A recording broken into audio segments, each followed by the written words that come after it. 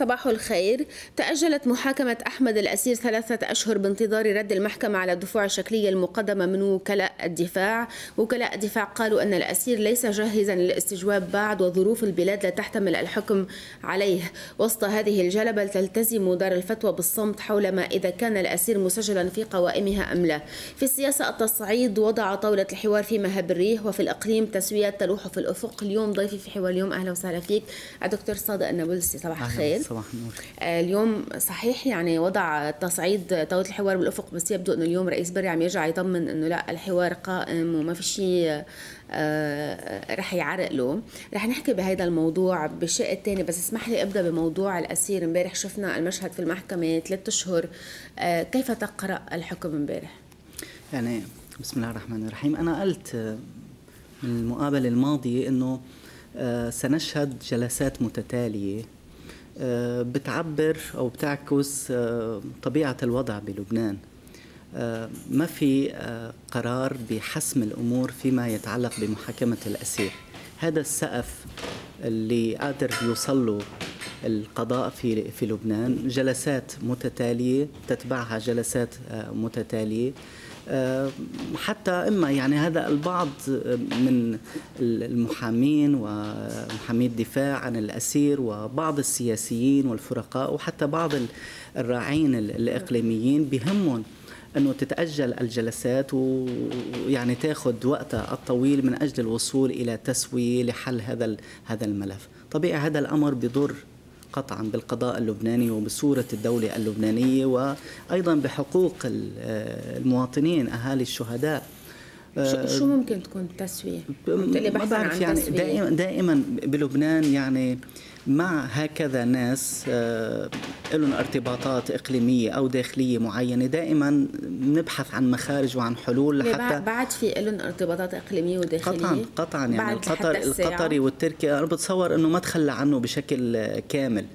آه وبعده بعده يعني القطري أو التركي ممكن يستخدم آه هذه الورقة بتسويات داخلية. يعني ورقة ضغط مقبولة بالنسبة له فبالتالي اليوم نحن منا رايحين إلى إلى آه، إلى وضوح في ما يتعلق بملف الأسير وما في محاكمة سريعة آه، في الآونة القريبة. نحن رايحين على جلسات آه، طويلة الأمد وتأجيل وراء تأجيل. طيب اليوم دار الفتوى يعني زج اسمها أو هي أصلا مفترض تكون بهيدي القضية ما بعرف. بس اليوم آه، مسجد بلال بن رباح هو مسجل بدار الفتوى وهو شرعي مثل ما بيقولوا. وبعده حتى الساعة في مسجد وفي جمعية وبتاخذ مساعدات وإلى آخره. وبالتالي هذا المكان اللي كان فيه أحمد الأسير هو مكان معترف به ومسجل في دار الفتوى. أما هو كشخص فما هي المعلومات عنه؟ لأنه دار الفتوى حتى الساعة في كل اتصالاتنا معه آه، ما بتجاوب على هذا الموضوع. بالمعلومات آه، شيخ أحمد الأسير غير مسجل كإمام وخطيب. آه، لمسجد بلال بن رباح آه، أو لأي مسجد آخر في دار الفتوى. يعني هو مش ليس ضمن اللوائح القانونية المسجلة في دار الإفتاء إن كان في صيدا أو في بيروت. نعم هو كان يتنقل آه، بين المساجد يخطب في هذا المسجد وفي ذاك المسجد. إلى أن بنى مصلى بلال بن رباح. بعد أحداث عبرة نعم في محاولة لاستيعاب الموقف وحتى ربما بعض الحيثيات الدينية تم تسجيل هذا المصلى آه، في دار أوقاف آه، صيدا. آه، وبالتالي بعد هذه الأحداث صار في له صفة قانونية رسمية بدار الإفتاء. فإذا الشيخ أحمد الأسير غير مسجل يعني ما حدا يقول ما حدا يقول كيف إنه كيف يؤثر ذلك على المحاكمة؟ يعني قالوا إنه ممنوع جلب أو التحقيق مع أحمد الأسير إذا ما كان في إذن من دار الفتوى. اولا اولا يعني ما في هيك ما في هيك سابقة آه، تشريعية. بتصور إنه في في أحد المشايخ محمد آه، آه، على ما أذكر هلأ طلع اسمه بصيدا كان مسؤول عن عن خلية. أيضا تم توقيفه عندما اعتدى على الجيش وعندما شكل خلية إرهابية. يعني في أوضح من إنه أحمد الأسير كان أحد المحرضين وأحد دعاة الفتنة وأحد قطاع الطرق وأحد الذين حرضوا على الجيش وقاتلوا ضد الجيش اللبناني وضد الدولة اللبنانية، يعني ما في حدا يعني البعض كان عم يحكي إنه آه لا بدنا لازم آه يعني يلقى القبض عليه بالجرم المشهود. في أكثر من هيك جرم مشهود يعني ارتكبه أحمد الأسير. م. ثم أنه يعني إذا إذا شيخ وعلى آه لابس عمامة وإلى ما هنالك لا يتوقف يعني هذا الأمر دار الفتوى تلتزم الصمت؟ تلتزم الصمت لأنه تقديري تقديري وكمان في شيء من المعلومات إنه بهي الحريري وتيار المستقبل ضاغط م. بهذا الاتجاه. نعم هن عم يشتغلوا لإيجاد تسوية ومخرج لأحمد الأسير.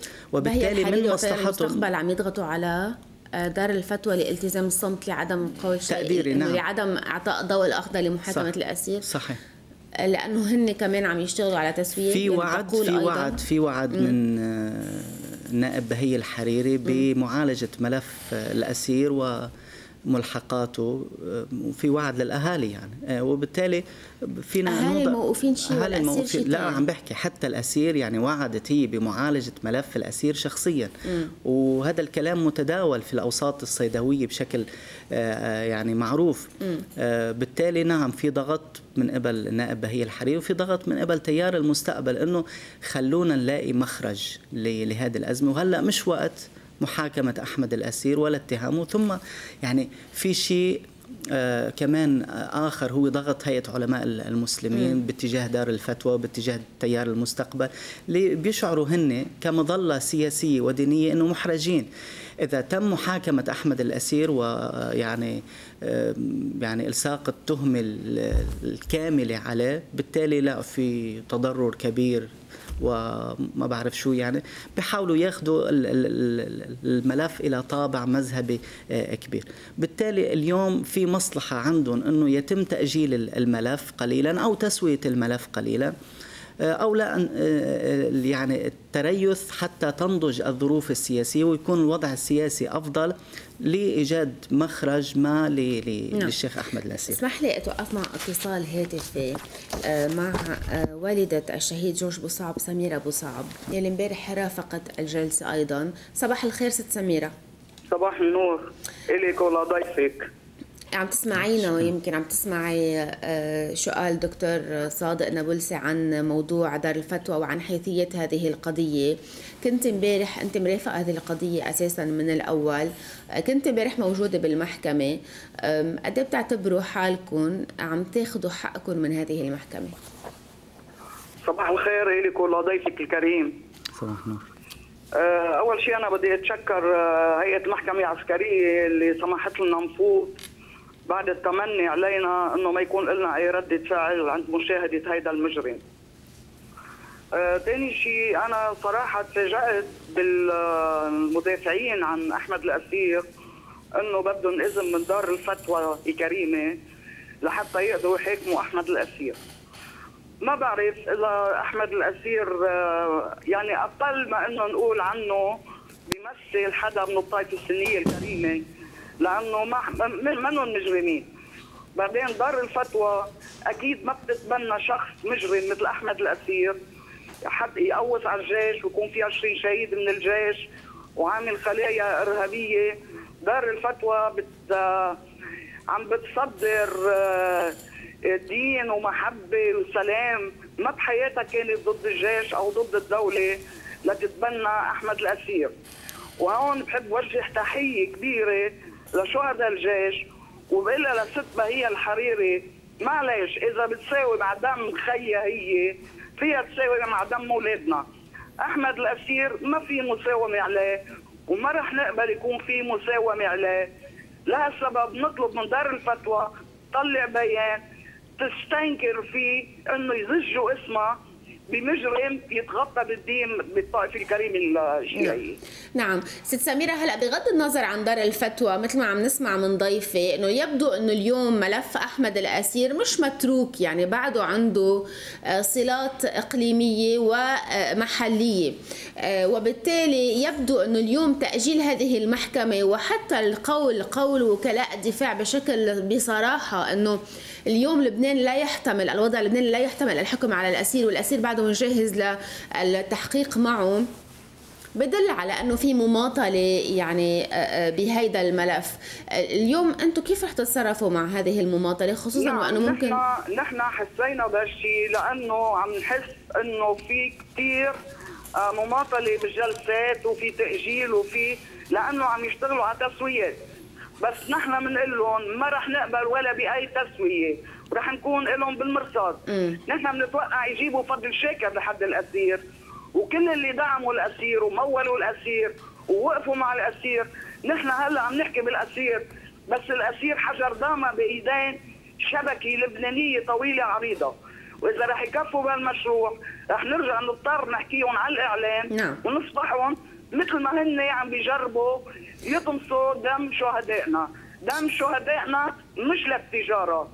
ولا بنقبل حدا يساوم عليهم. على كل حال كل ما في عنا ناس مثل فضيلة الشيخ تحكي بالحق وتعطي الحق لأصحابه نحن مدعومين ومكفيين للآخر.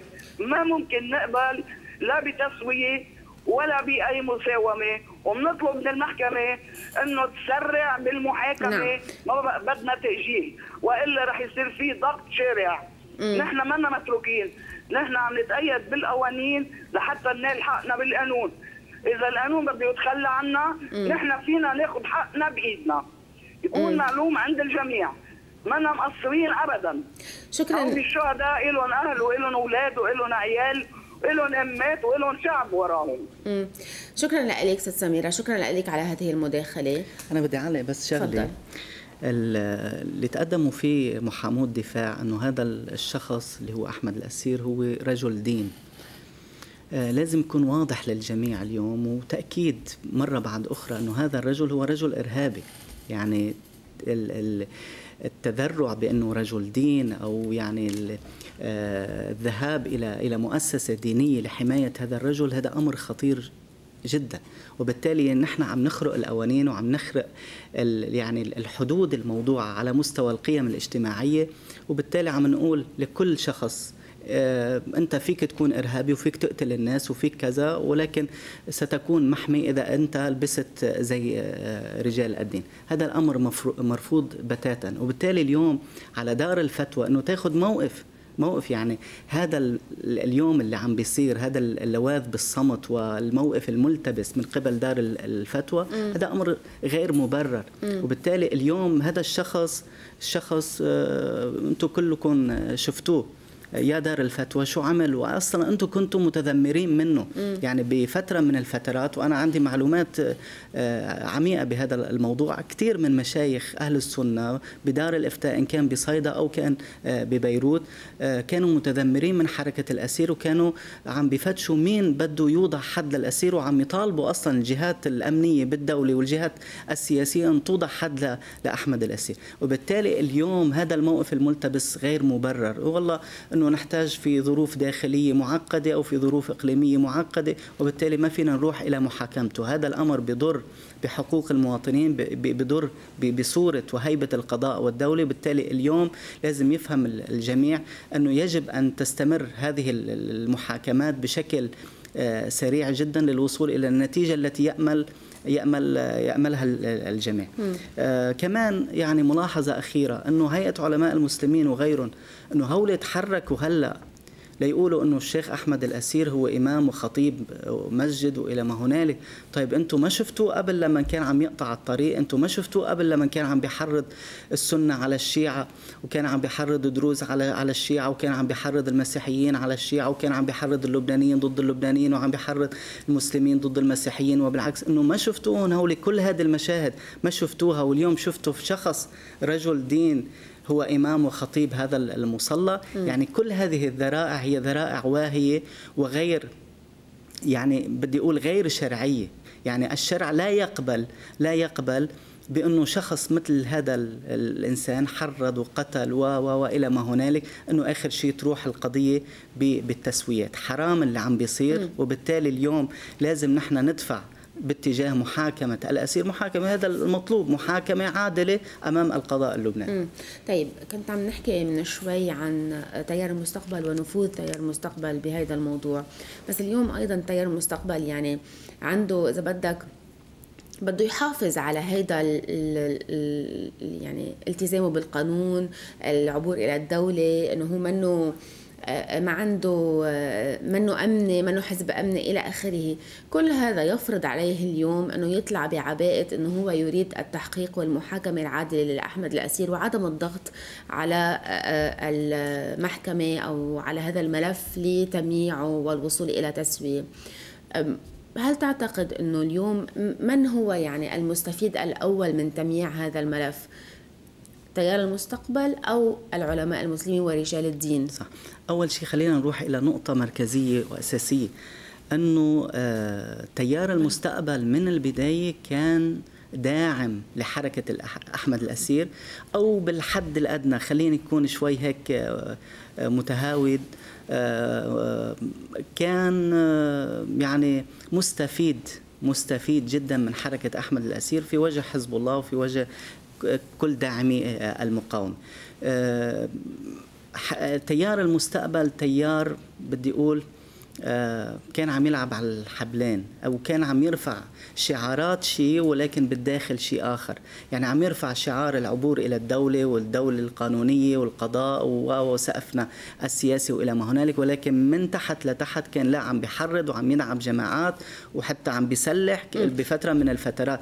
فما يغيب عن ذهننا أنه هذا التيار هو تيار معتدل وهو تيار يلتزم بالقانون وسقف الدولة وإلى ما هنالك. لا هذا التيار شارك بالتحريض التحريض وهذا التيار شارك بدعم أحمد الأسير بفترة من الفترات. هلأ اليوم بده يجي لنا إنه هو تحت سقف القانون ممتاز. قال إذا أنت تحت سقف القانون خلي القضاء ياخذ مجراه بدون أي تدخل لأنه اللي عم نشوفه حاليا هلأ إنه لا نحن بنستفيد إنه تبقى قضية أحمد الأسير هيك فيها تمييع. وفيها مماطلة لنوصل إلى محل محل معين. يعني آه، أنا بقول لك بالسياسي بيخسر تيار المستقبل قدام جمهوره إنه أنت تخليت عن عن شخص وعالم وهو إمام وخطيب وإلى ما هنالك آه، يا غيرة الدين. يعني بالتالي بس, بس ب هل تقول إنه كل جمهور تيار المستقبل؟ ما أيضا هذا الموضوع. لا لا مش تيار. تعميم لا لا لا, لا. إنه جمهور تيار المستقبل كله اليوم يريد آه، عدم محاكمة أحمد لا لا ما عم أقول هيك. لا عم أقول ما هو صار في أجنحة بتيار المستقبل م. وصار أصلا الجمهور آه، أكثر من جمهور يعني. ما عاد في جمهور واحد لتيار المستقبل. في ناس مع التيار السلفي مع التيار الوهابي مع الدواعش مع هول الإرهابيين داخل تيار المستقبل. وفي ناس لا ما زالوا ملتزمين يعني السقف اللي عمله الرئيس الشهيد رفيق الحريري إنه القانون والدولة وإلى ما هنالك.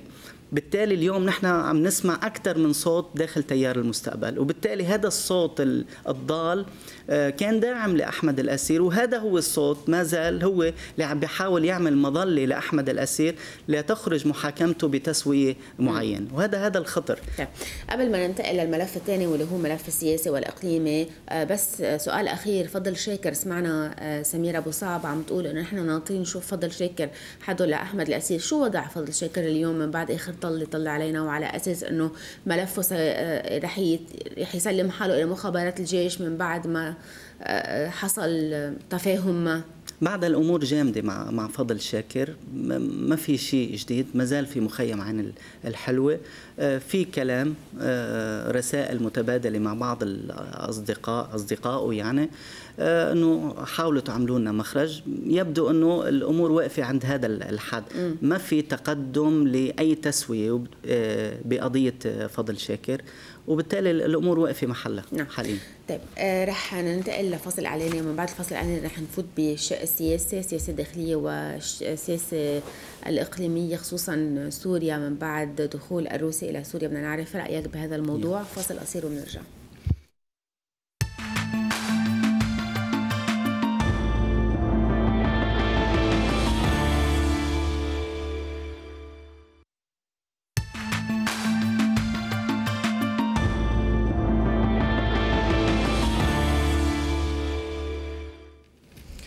عودة لكم مشاهدينا ولضيفنا دكتور صادق نابلسة بدي أرجع أرحب فيك. أهلا فيك. نفوت بالشق اللبناني الشق آه، طاولة الحوار. كان في تصعيد كثير كبير بأول الأسبوع من تيار المستقبل ومن حزب الله. حزب الله يصوب على المملكة العربية السعودية بشكل كثير كبير. يرد تيار المستقبل من هنا من لبنان. آه، سمعنا طبعا. بس كيف تقرأ هذا الموضوع؟ خصوصا وأنه امبارح تيار المستقبل بيرجع بيقول أنه هو ملتزم بسقف طاولة الحوار يلي هي آه، آه، يجب أن تبقى. الجواب بهذا الموضوع له شقين الشق آه، متعلق بالوضع الداخلي. اليوم حزب الله ما صعد إلا بعد مرور وقت طويل على استمرار تيار المستقبل على التصعيد وعلى الكلام النابي رغم إنه في طاولة حوار بيناتهم. لكن ما عم نشوف نحن إنه ما يحصل داخل طاولة الحوار عم ينعكس برا. فلتانين الجماعة وعم يحكوا يمين وشمال على حزب الله. حزب الله ماخذ موقف بالصمت وعدم الرد. لكن وصلت الأمور إلى مستوى لا صار لازم حدا بمستوى. سماحه السيد حسن نصر الله إنه يطلع يرد. هول الجماعة مفكرين إنه إنه بتمشي الأمور بهذه الطريقة وإنه نحن بنعلي السقف ونحن بنصرخ ونحن آه، نتهجم على حزب الله. حزب الله لا يعني يمارس سياسة الصمت اللي بيمارسها بشكل آه، عام. آه، هالمرة لا الأمور مختلفة كليا. في شيء له علاقة بما يحصل اليوم في سوريا. هو الجماعة بدأوا يعني مرحلة الانحدار مع التدخل الروسي بسوريا. شافوا أنه كثير من أوراق القوة والمراهنات القديمة على آه، على أمور معينة يعني ما كانت إلا سراب وإلا إلا وهم. وبالتالي اليوم نحن ما أمامنا إلا انه نفجر قنابل في وجه آه، حزب الله ونحكي عن عن حزب الله. يعني هذا سقف سقف هو خطاب إعلامي وبعض المناكفات السياسية الداخلية. لكن الأمور وصلت إلى إنه صار بدهم يقولوا إنه نحن بنخرج من الحكومة، اولا الحكومة حكومتكم، بتخرجوا منها بتفرطوها أنتم. أنتم لكم مصلحة إنه تبقوا تبقوا بالحكومة مش حزب الله، نعم أنا بقول إنه بلا لحزب الله كمان. بقول نعم نعم. بقول إنه في مصلحه يعني. لا بس أنا بقول منا مصلحة مباشرة، هيدي الحكومة حكومتهم. وبالتالي اليوم إذا هن سقطوا الحكومة هن بيكونوا يعني عم يعني يعني عم بيسقطوا آخر أوراق القوة والنفوذ اللي عندهم.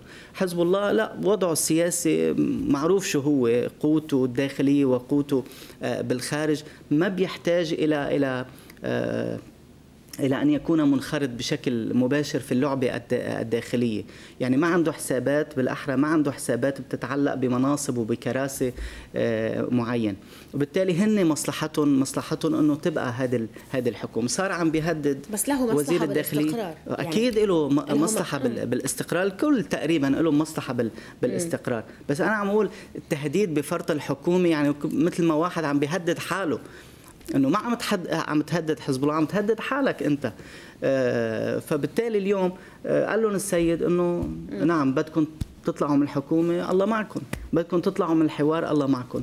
نعم إذا ملاقيين مصلحة يبقى هذا الحوار. إذا ملاقيين مصلحة تبقى هذه الحكومة للحفاظ على المستوى المعقول من الأمن والاستقرار آه، في لبنان. ويعني يعني حتى نبقى نبقى لأنه آه، نحكي مع بعض لأنه ما عاد في مؤسسات دستورية. البلد على شفير الهاوية سياسيا. وبالتالي اليوم آه، هذا المستوى من الخطاب اللي قاله الرئيس آه، أو وزير الداخليه هذا المشنوع م. كان لابد أن يقابله خطاب بسقف عالي ليوقف الجماعة عند حدهم ويقولوا يقول لهم ما تروحوا نحو يعني تهوروا حالكم وتهوروا البلد هلأ في تقدير عند حزب الله إنه هيدي يعني هذا الخطاب اللي صدر أو هذا الموقف اللي صدر عنه هذا المشنوع هو فلتة أو نتعة أو حسب بعض التعبيرات لكن أنا تقديري إنه هذا له له سياقه وله له مخارجه. ومداخله. يعني بالنهاية آه، هذا المشنوق مرتبط بقوى إقليمية وهي المملكة العربية السعودية وفي تيار المستقبل بظهره. بالتالي ما بقدر أنه هيك موقف بلحظة معينة بمناسبة معينة يكون مجرد موقف شخصي. وهذا البعض حاول يبرره من تيار المستقبل ويقول أنه هذا موقف شخصي لنهاد المشنوق لحتى يظهر من من الأزمة اللي عملها.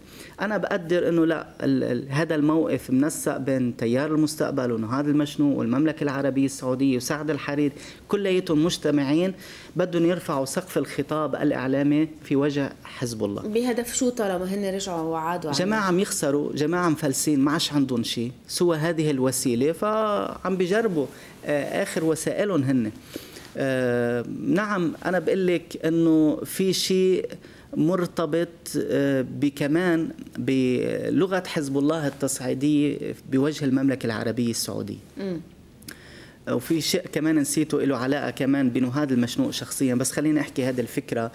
آه، حزب الله منذ فترة نعم هو صعد بوجه المملكة العربية السعودية لأنه بيعتبر أنه يعني مجموعة الويلات اللي حاصل اليوم في المنطقة في سوريا في اليمن في البحرين في العراق في لبنان اساسها آه، المملكة العربية السعودية. آه، فهو عم يحكي رأيه بما يحصل اليوم بالمنطقة وكفاعل كفاعل اليوم آه، محلي وكفاعل إقليمي له حق إنه يعبر عن موقفه تجاه هذه الدولة التي تثير الخراب والفساد في في المنطقة. تيار المستقبل هو ألعوبة بيد المملكة العربية السعودية وهو الذي يعني يترجم مواقفها خطابات إعلامية وحركات سياسية داخل لبنان فكان معني معني بأنه بأنه يعمل هذا الموقف التصعيدي إن كان منه هذا المشنوع أو من بعض أركان تيار المستقبل. وخصوصا الرئيس السنيورة اللي هو أصلا يعني أحد صقور تيار المستقبل واللي حامل السيف وماشي على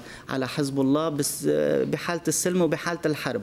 طيب حزب الله اليوم معني بأنه يوضح للبنانيين موقفه مما يجري على الساحة الداخلية وأيضا معني بأنه يوضح آه، موقفه مما يجري اليوم في المنطقة. فعم بيقول لبنانيا لبنانيا هول الجماعة آه، يعني سقفنا العالي سقفنا العالي له أهداف سياسية داخلية ما له ما له يعني بعد بالمنطق وبالعقلانية وبالحكمة. اثنين بالمنطقة هول الجماعة عم يعملوا كذا وكذا بأكثر من بلد وبالتالي لازم تنعرف وتتحدد المسؤوليات. السعودية شو عم تعمل بسوريا؟ السعودية شو عم تعمل بالبحرين؟ السعودية شو عم تعمل باليمن؟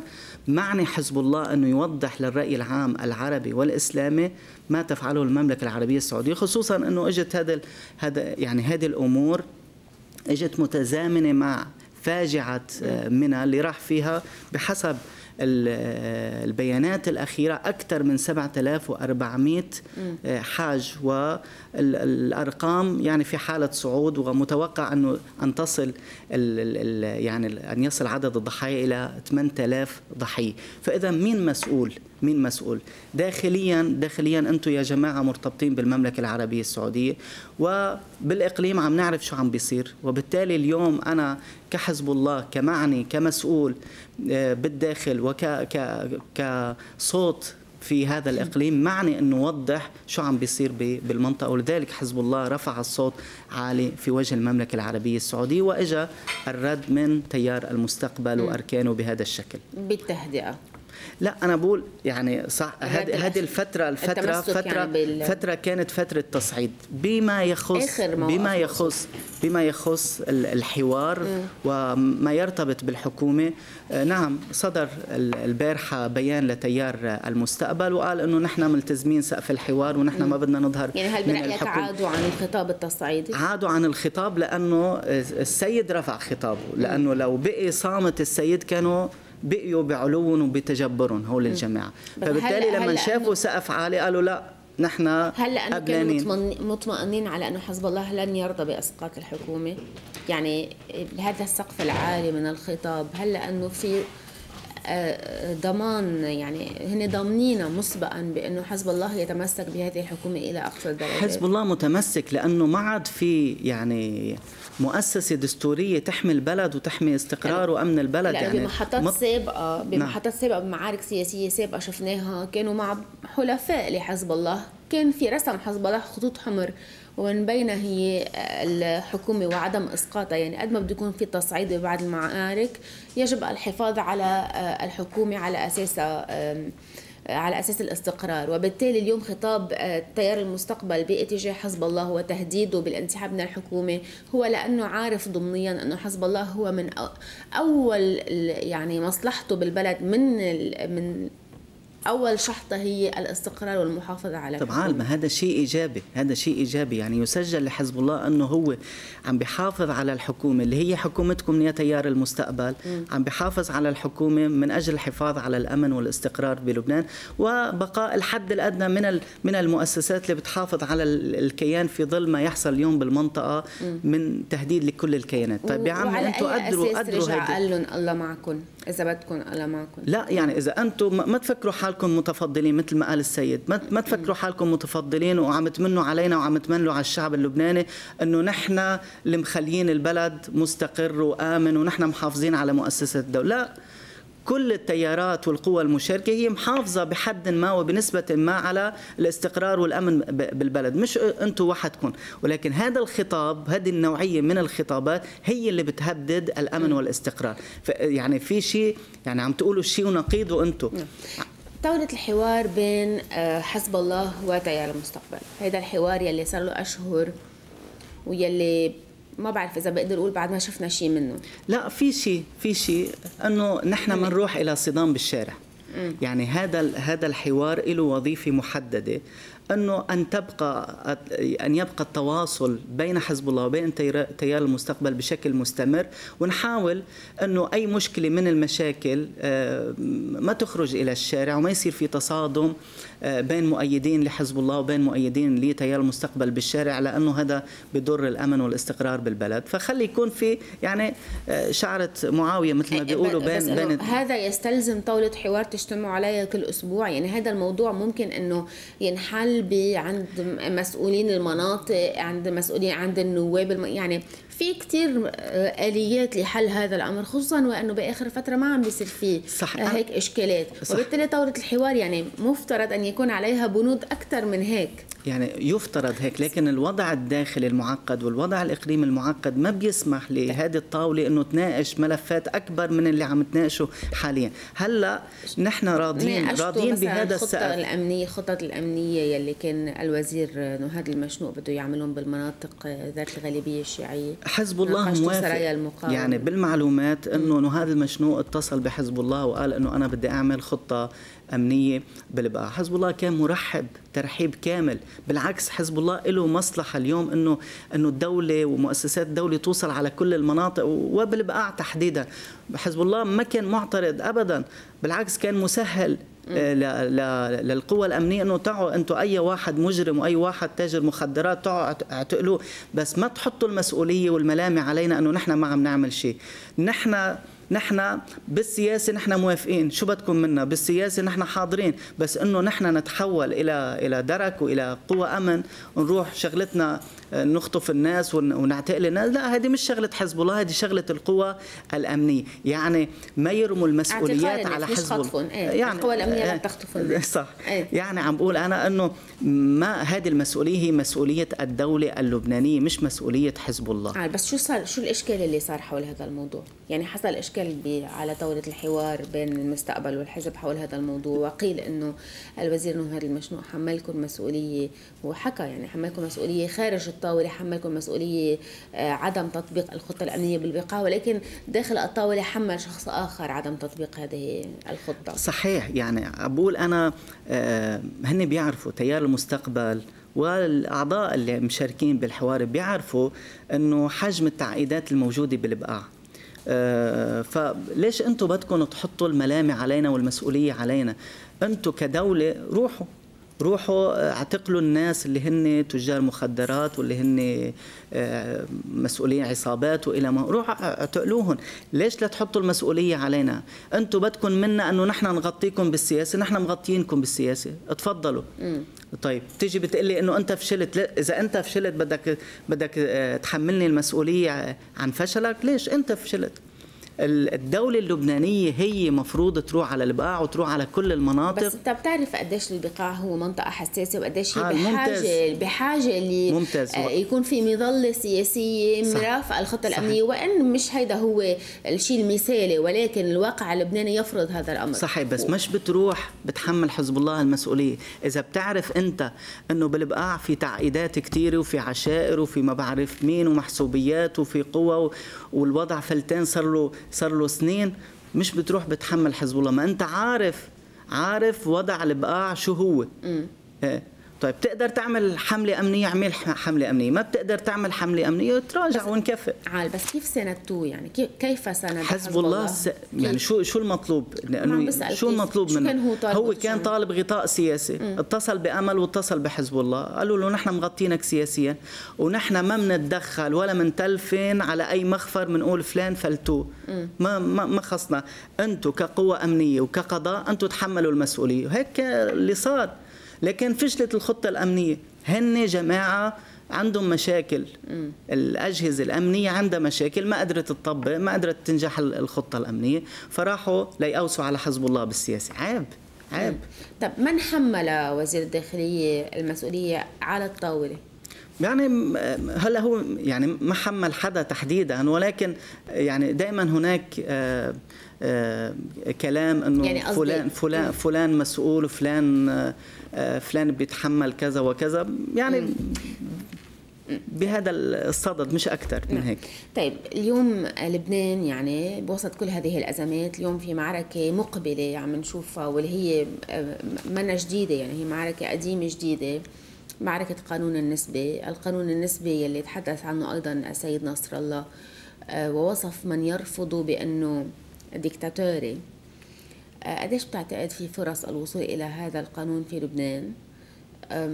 لحتى بعدين ننتقل للموضوع السوري ولأنه حكما آه، ينعكس على الوضع اللبناني. يعني اليوم الأمور بلبنان جامدة.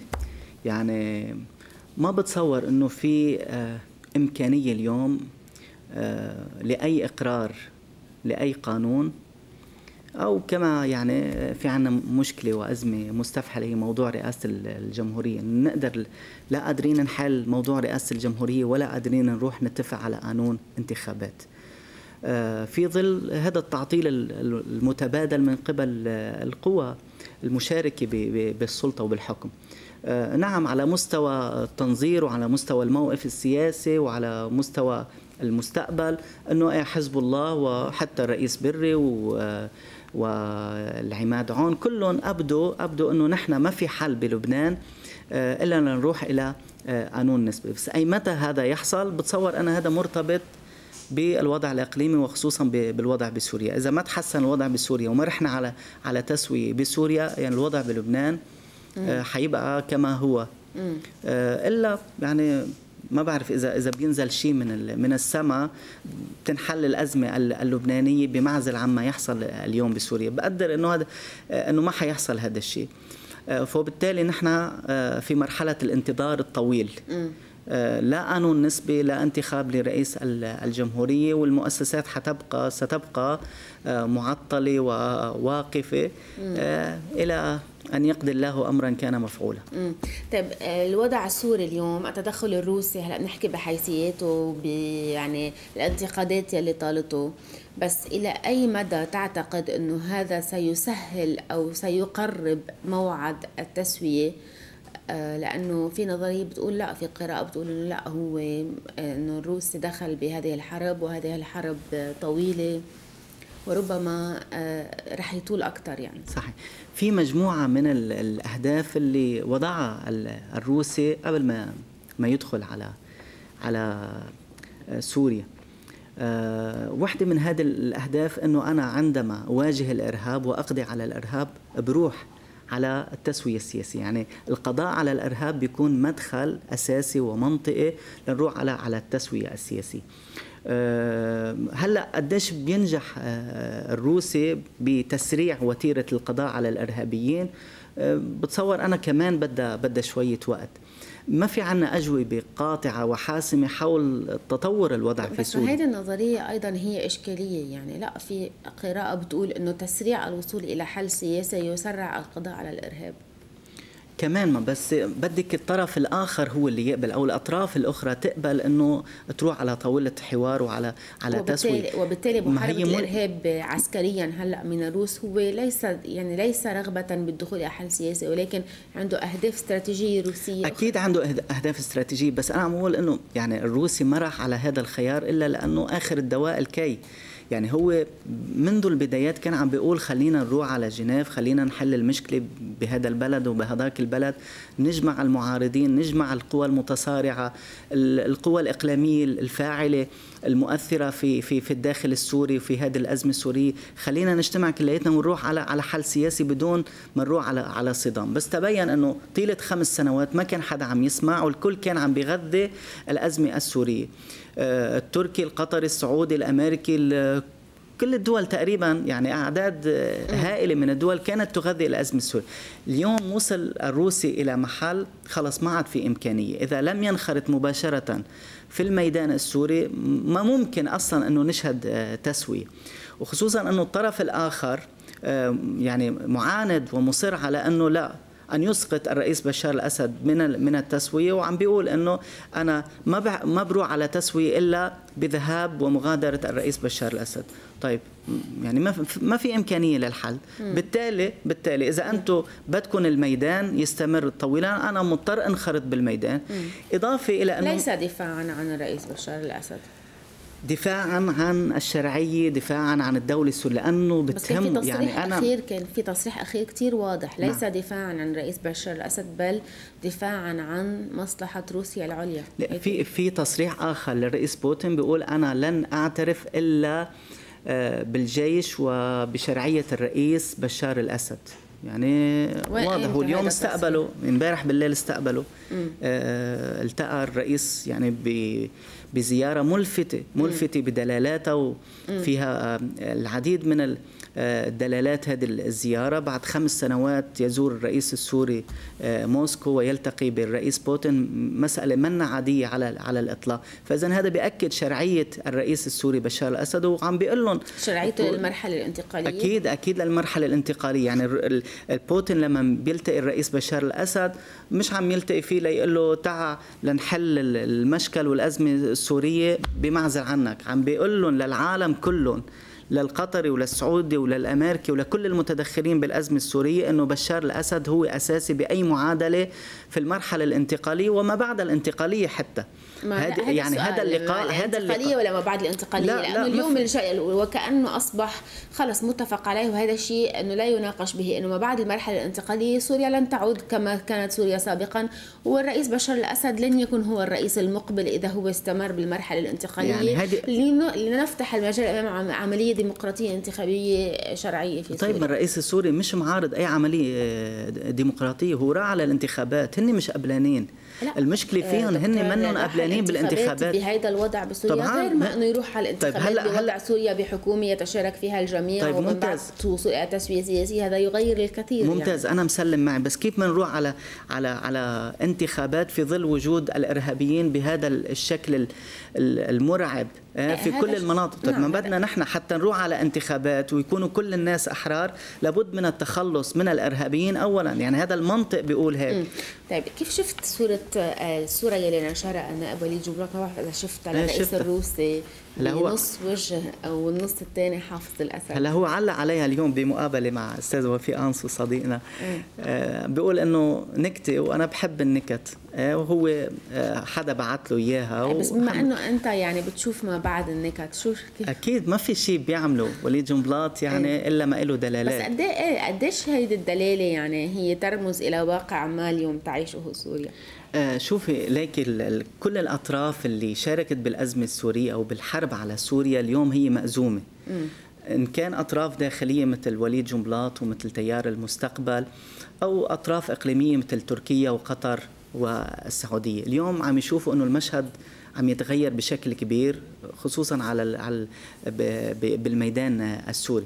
وبالتالي اليوم هن أيضا تفاجؤوا بحجم التدخل الروسي ووقوف روسيا إلى جانب الرئيس بشار الأسد بهذه القوة وأنه الروس مكفيين للآخر. وهذا اليوم اللقاء اللي صار مرة أخرى بقول إنه يعني آه عم نعطيه للرئيس الأسد ثقة أكثر وعم نقول له نحن معك وإنه سقف العمليات العسكرية مش أربعة أشهر سقف لحتى تهد آه، تحقق آه، سوريا اهدافها العسكريه والسياسيه، فاذا المعركة طويلة وبالتالي اليوم نحن رايحين إلى إلى متحول ومتغير كبير على مستوى سوريا. ما بدي أجزم وأحسم أقول إنه هناك نصر آه، حاسم للقوى التي تقف إلى جانب الرئيس بشار الأسد.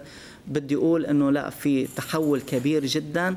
هذا التحول إما أن يأخذنا إما أن يأخذنا إلى تسوية فيما لو رضخت القوى المنخرطة في الحرب على سوريا بنروح آه، على تسوية وإما لا بنروح إلى تصعيد آه، أكبر وأخطر. وهذا اللي بعض آه، يعني كتبوا يعني؟ امبارح يعني كيف يعني؟ المنطقة المنطقة بعبر هيك تعبير لطيف. أحد الكتاب الألمان بيقول إنه المنطقة تشهد حربا عالمية حقيقية لكن لم يتفضل أحد بإعلانها على خلاف مثيلاتها في القرن الماضي. نحن بالفعل نحن بحرب بحرب عالمية ولكن غير معلنة. آه، الروسي دائما كان طيلة الفترة الماضية يعني سقفه سقفه آه، وحركته منخفضة ناعمة إلى حد ما. آه، اليوم لا عم نشوف شكل جديد. خصوصا يعني استعمل للمرة الأولى صواريخ باليستية من بحر قزوين. نعم. وكان بال يعني قادر يضربها من من داخل سوريا ولكن أراد أن يعني أن يكشف عن عن سلاح عن ان أن يتحدث عن عن لغة جديدة. آه، أن أن يبعث برسالة للولايات المتحدة الأمريكية. فاذا كل هيدي كل هيدي بتعطي انطباع أنه نحن رايحين إلى إلى مرحلة من الصدام أوسع وأعمق. مرحلة من الصدام أوسع وأعمق. إذا ما رحنا على تسويه مثل ما قلت لك يعني هذا الاحتمال الأول. إذا ما رحنا على تسوية نعم. ورضخت الأطراف واضح. المشاركة بالحرب نحن رايحين على, على, على تصعيد. بس اليوم يعني مع دخول روسيا إلى سوريا مع آه، آه، دعم الولايات المتحدة الأمريكية بصواريخ طوق المعارضة السورية يبدو وكأنه في تجديد لهذه الحرب.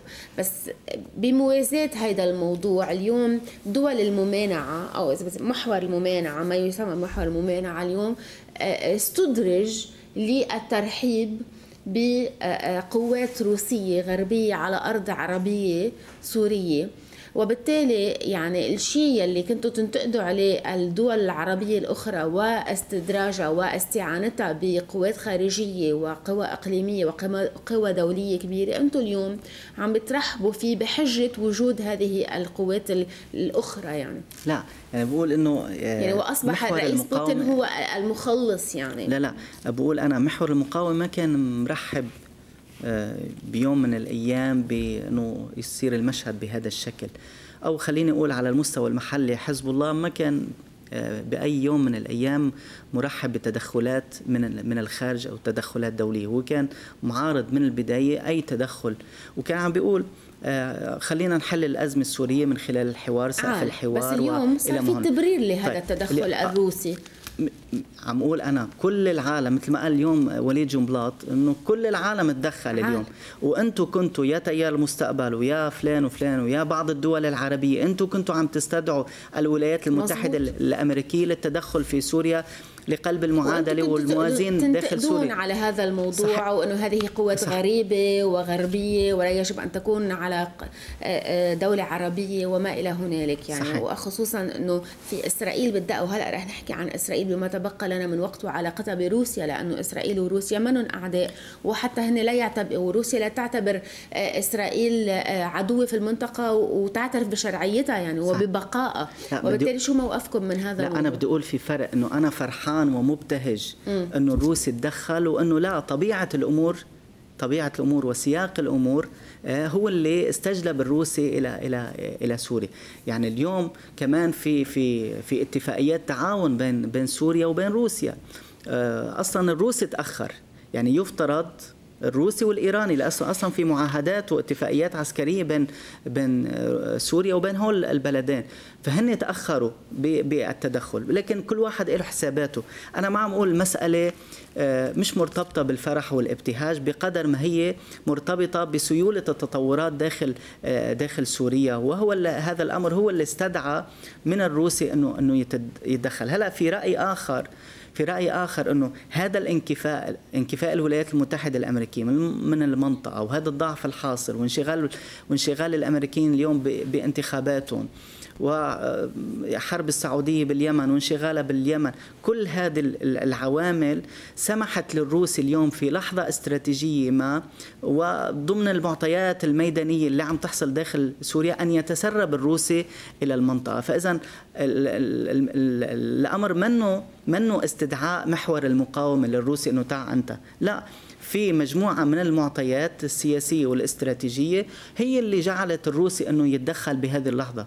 وإلا ليش ما تدخل من البدايات وحسم الموضوع خصوصا أنه أنه هذا السوري حليفه. نعم. ف... شو موقفكم من العلاقة بين روسيا وإسرائيل؟ وقصة التنسيق على المدى الجوي.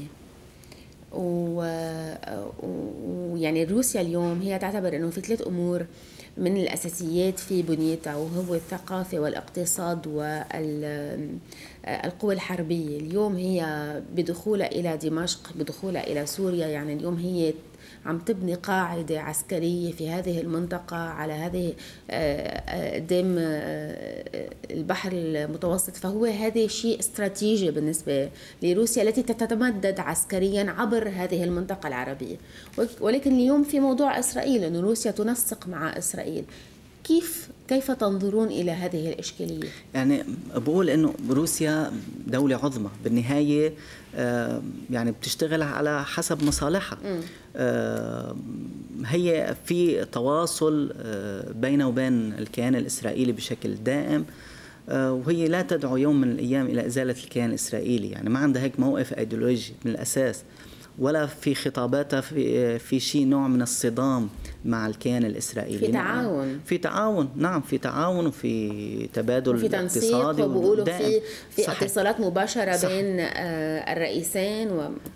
بالتالي اليوم سقف سقف الحوار أو التواصل اللي عم يصير له علاقة بعدم حصول أي صدام جوي أو عدم حصول احتكاك مباشر بين القوات الروسية وبين الجيش الإسرائيلي. هل قد الأمور في السماء تتصور. السورية. في السماء السورية. نعم. هذه اشكاليه كبيره كمان. بالتالي اليوم الروسي عم يعمل عم عم يحكي مش بس مع مع الإسرائيلي عم يحكي مع الأمريكاني وعم يحكي مع الفرنساوي وعم يحكي مع التركي إنه خلص انتبهوا أنا نويت أتدخل وأنا مقرر إنه أتدخل لأحسم الموضوع وساعد الدولة السورية والجيش السوري بحسم المعركة ميدانيا. فالتفتوا ما حدا يقرب ويعني آه، أوصل رسائل آه، متعددة في هذا اللي بدي أقوله إنه إنه سقف الاتصال اليوم هو له علاقة بعدم حصول أي احتكاك أو تصادم لأنه مش من مصلحة الروسي إنه يصعد